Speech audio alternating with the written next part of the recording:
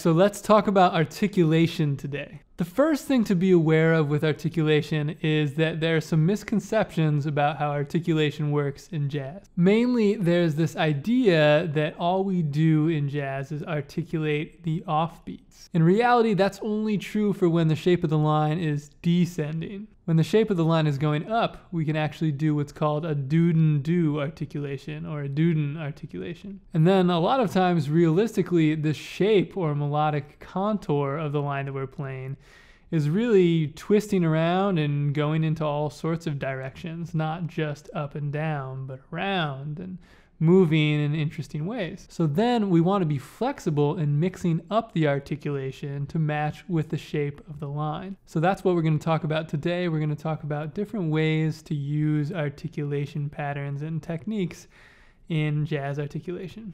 And I've actually just released a full masterclass on jazz articulation that has over 80 minutes of video content going really deep into articulations on exercises, phrases, etudes, and transcriptions. And it also has a supplementary PDF with tons of articulations written out for you and the articulations match with the exercises and all the content that we go over in the masterclass. So if you want to get serious about refining your articulation techniques, definitely make sure to check that out. It's a great reference. But for now, let's just do a brief overview of how to develop your articulation skills in jazz. And first off, it is important to note that the articulation breakdown and analysis that you're seeing in the examples on your screen are not written with traditional music notation. So the first question that we should answer is why is that? In jazz, the reality is there are a lot of articulations that we use that just can't be written down with traditional music notation. Of course, traditional music notation started long before jazz existed. So the articulations that we use in jazz just have never been really given a music notation label. One of the things that makes jazz feel so good is the way that we pronounce the language and the vocabulary that we're playing. And the only way to really put that on paper would be through writing out the actual vocalized pronunciations of each note. And it's important to know that these are not scat syllables, like these are not scat syllables that a vocalist would use. The purpose of these syllables are for helping us articulate on our instrument. Now, some of these exact syllables might be catered a little bit to saxophone, but the general idea of how we feel the music on our instrument is the same throughout. Brass players, for instance, might say doodle doodle. Saxophonists, for instance, would probably say duden duden, but we're all speaking the same language either way. And we're just trying to get the music to feel as good as possible on our instrument. I've actually done ensemble masterclasses where I've had the student drummers in the masterclasses say duden duden while they play a ride cymbal pattern. And it's actually helped them significantly to make their ride cymbal pattern feel better. So this really applies to all instruments. So by now I'm sure you're wondering what these syllables are and if you're already familiar with these syllables, you might want to know how you can play them better.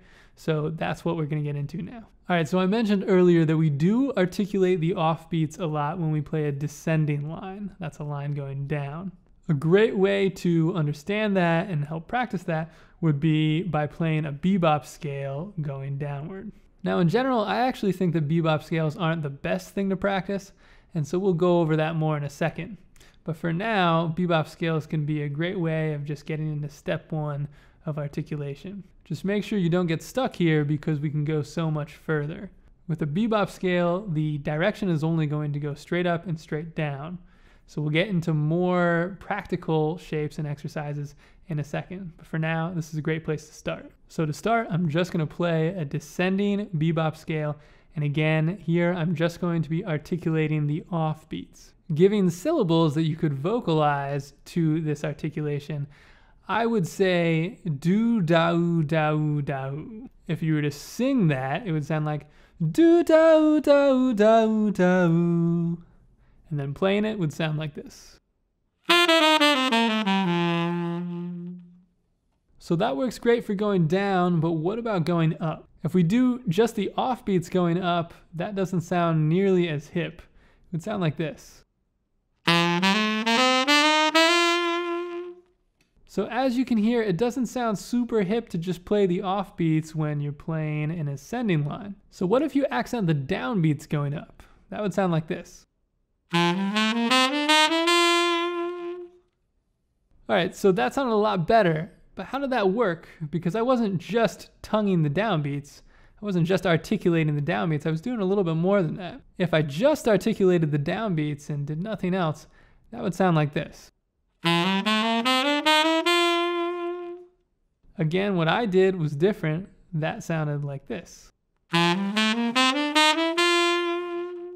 So how did I do that? This is what a lot of people refer to as a Duden Duden articulation. Now the label doesn't really matter, it's just a way of helping us get this concept down more and it's a way of helping us pronounce the language that we're playing a lot better. So let's talk about how to apply this Duden articulation to our playing. So essentially the reason why a lot of people call this a Duden Duden articulation is because essentially we want to pronounce the language that we're playing on our instrument as if we're saying Duden Duden through the horn. So just like when you speak the sound Duden, your tongue goes to the roof of your mouth and chokes off the sound a little bit. For instance, you go duden, duden. So that's what we want to translate onto our instrument. So for saxophone, we actually want to choke off the sound for a second by putting our tongue on the reed. This is something that we get into with a lot of detail in the masterclass that I've done on this. But just a quick tip would be to really push from the diaphragm to help make it happen. So if we just play Duden, it would sound like this. If we go on and play dude and do, it would sound like this. If we go all the way up the bebop scale using this approach, it would sound like this. Then if we play up the whole bebop scale with a duden duden articulation, and we play down with a do da da articulation, it will sound like this.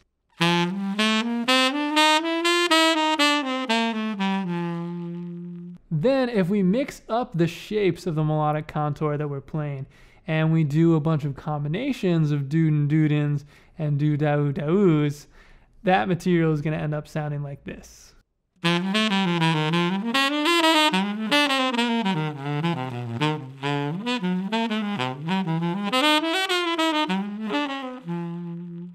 So how do we bridge the gap between being able to play up and down a bebop scale with this articulation technique and actually being able to play real language with this articulation technique. So the first thing that I recommend is actually just practicing this articulation concept on better exercises. So like I mentioned before, I actually think the bebop scales aren't really the best thing to practice. And that's because we can go so much further into the concept that the bebop scale was based off of. And if we do that, then we can actually practice exercises that use that in a way more effective way and a way that's more practical for translating into real lines. And so that brings us to the concept of chromatic approach notes. I've made videos on this before, but pretty much the bebop scale just takes a major, dominant, or minor scale and adds one chromatic approach note to it.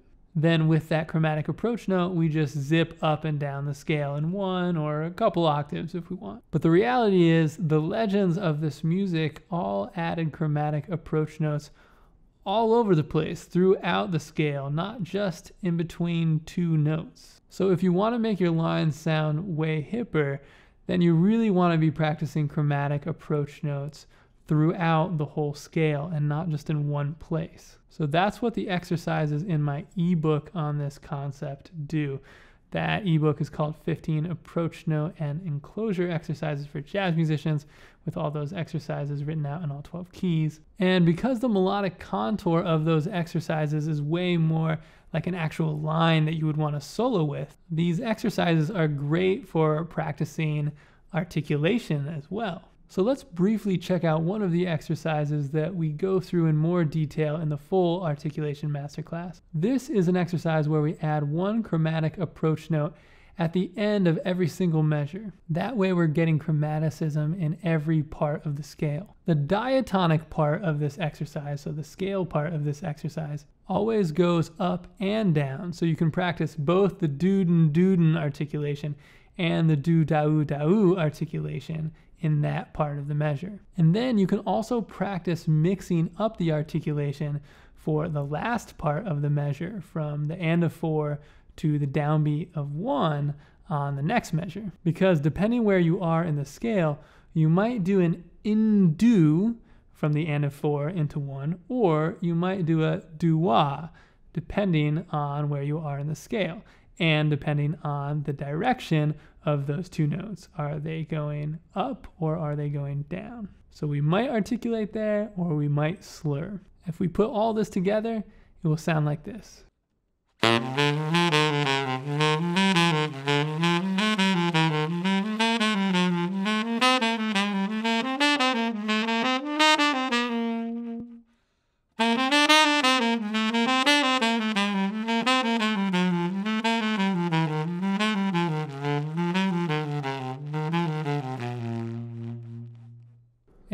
want to go more in depth into that exercise, plus phrases and etude and transcription content, make sure to check that out in the full masterclass, which comes with a supplementary PDF that has all these articulations written out for you as a reference. There is a coupon code in the video description. If you want to check that out, you can use coupon code CLB10 for $10 off any masterclass this week at jazzlessonvideos.com. One thing that we get into in the masterclass content is also how to apply these concepts to triplets because that definitely gets tricky and 16th notes as well. We also get into the topic of melodic cells, and there you can really get a sense of how the more modern legends like Michael Brecker use these same articulation techniques, even with the more modern technical language. So, in other words, if you're playing with a more modern sound, you can still be using these duden duden articulations along with the do daus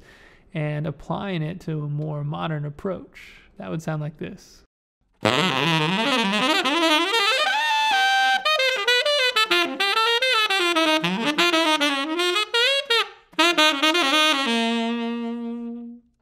So all in all, the bebop scales are fine to practice, but it only gets into a really small part of the potential for chromatic approach notes. And there's really no variation in the shape or the melodic contour because we're just playing straight up and down a scale. So there are a lot of exercises that we get into in the master class, like the approach note and enclosure exercises, as well as the melodic cells approach.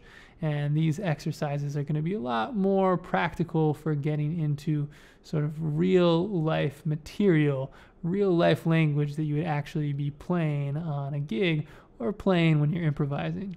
And speaking of real life examples of articulation, let's actually check out a phrase now and apply this articulation technique to this phrase. So this phrase is one of the 10 phrases that we go over in the masterclass, and we have all the articulations written out on all those phrases as well. This phrase is from an ebook that I released called Approach Note and Enclosure Phrase Workouts, because all of these phrases are really good ways to practice the concept of approach notes and enclosures in actual phrases. These phrases are also a great way to practice this articulation technique. So let's check out how the articulation works in this phrase. So with this phrase, you'll see a lot of duden dudens to start. We have a couple notes that go down from beat two to the and of two. But the reason why we're still doing duden duden there is because the and of two goes up into a do on the downbeat of three. So whether you use the do daus or the duden dudens, a lot of times just comes down to if you're on the and of a beat going up or the and of a beat going down. So here for the first part of the line, we've got all duden doos. That's going to sound like duden duden duden doo. Then from there, we've got a da-oo because we're going down from the and of four to the downbeat of one. So then we've got doo doo doo doo doo da Then from the and of one of this second measure into the downbeat of two, we've got another din do. Now, this is a great example of when you don't want to get too caught up on the D in the den. It's more of a duden than a dudin. Then after that, we finish off the phrase with just a dau because we've got another descending direction in the shape there. And then for the last note, you can say that is being dot because for ending the phrase, it's kind of like a dot sound. So if we were to sing through and pronounce the whole phrase all the way through, it would sound like this.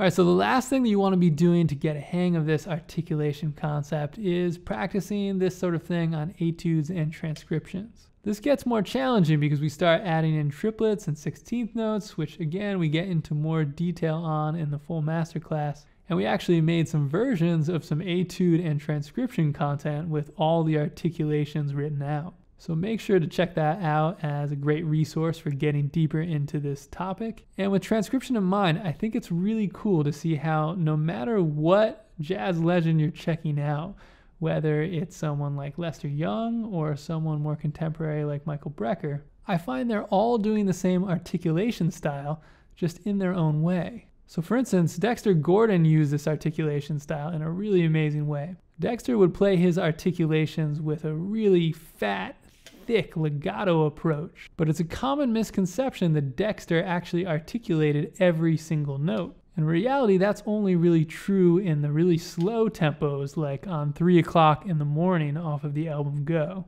But anytime he was playing more medium or up tempos, he was totally locked into the duden duden and the do dau daus. But it's important to note that with the duden dudens, by nature of how you articulate that, in a way, you sort of are articulating every single note. But it wasn't just Dexter who would do this. As I mentioned, everyone from Lester Young to Michael Brecker has used this approach. One perfect example of Dexter using this approach would be on his version of Love for Sale, which is also off of the same album as 3 O'Clock in the Morning. That album is, of course, the album Go. So if you check out the first eight bars of what he plays on the bridge of his first chorus, that is a prime example of this approach. That would essentially look and sound like this.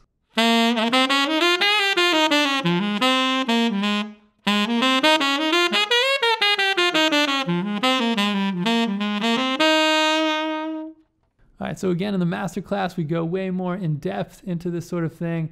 And I even break down and analyze a full Charlie Parker solo, writing out all the articulation techniques that he used, which was quite challenging, but well worth it. It was really fun to make this content, and I hope you'll enjoy checking out the full masterclass and the supplementary PDF that comes with it.